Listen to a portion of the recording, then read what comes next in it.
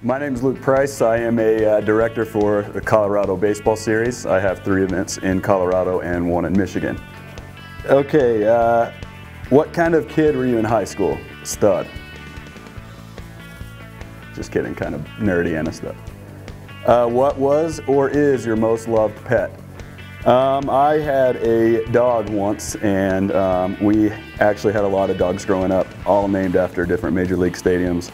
I think I was closest to Shea, even though I hated the Mets. Shea was, um, Shea was my guy. Shea was a girl, actually.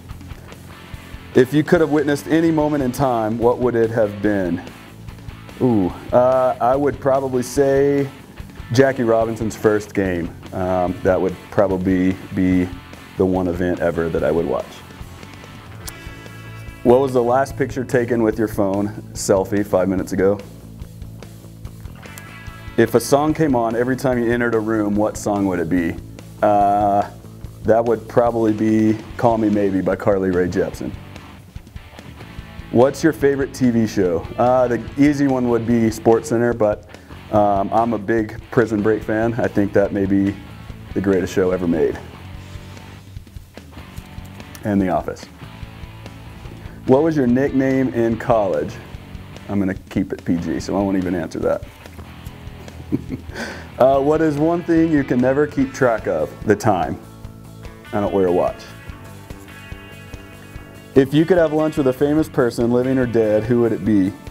Uh, I think probably Jesus or um, Nancy Grace. Just kidding, I can't stand her.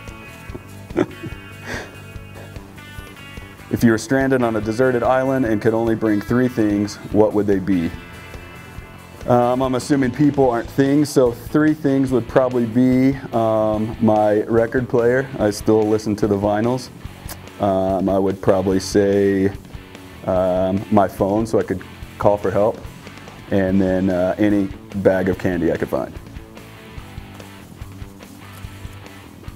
What is my favorite thing about working at Triple Crown? I would have to say the people I work with. Uh, I think every day is a challenge here. Every day is different, but when you work with people that are fun to work with, fun to be around, and you can call them your friends, makes it a lot easier and fun to look forward to the workday.